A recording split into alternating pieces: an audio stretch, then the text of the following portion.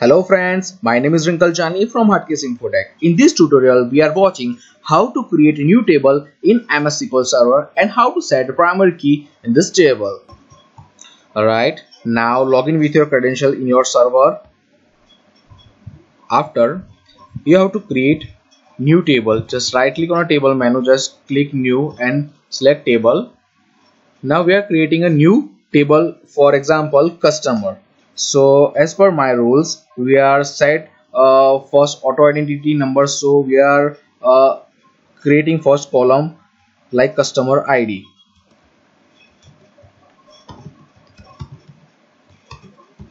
okay. Integer. Data type is integer because uh, we want to use customer id as a primary key uh, it means unique identification number. Now second column is first name like customer name.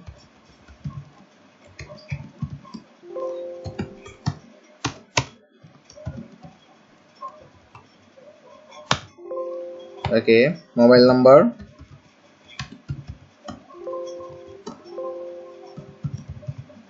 Email id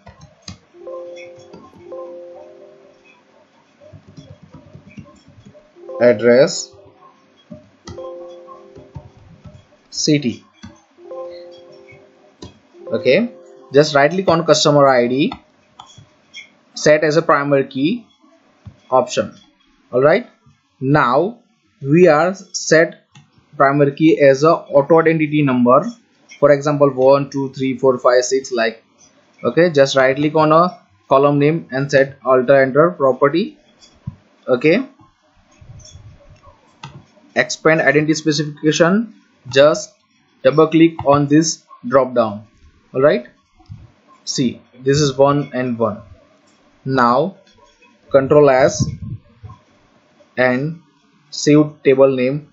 For example we are using customer. Just okay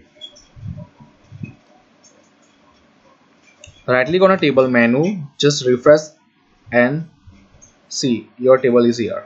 Customer okay expand your table just show columns. This is your primary key. If you want to see uh, data in your uh, table just right click on uh, your table name and edit top 200 rows. Otherwise select top 1000 rows. You are showing. See this is your table area. Okay if you want to enter uh, like customer name for example Rinkal Jani. Mobile number 972513007 email id is jani.rinkal at the rate gmail.com address okay. City is just enter. Alright see this is auto generated number one. If you are entering new data for example xyz okay okay? All right see this is second number.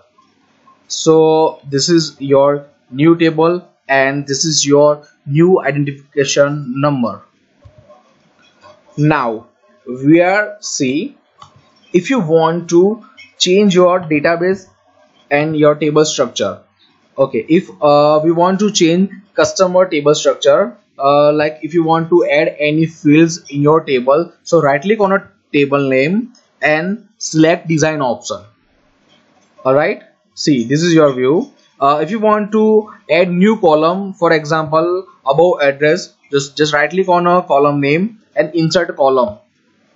Okay? Uh, now we are entering a new field uh, such as GST number.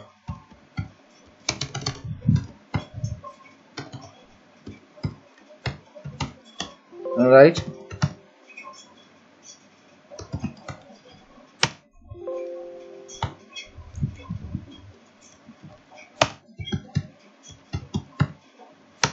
right here. All right. Just control s. Save. Okay. This is your new column added successfully. And if you want to see again your table data just uh, select top 1000 rows. Otherwise edit top 200 rows and just see your new column has added. Right friends. Thank you for watching this tutorial and please subscribe my channel and like share and uh, please click bell button for new videos. Thank you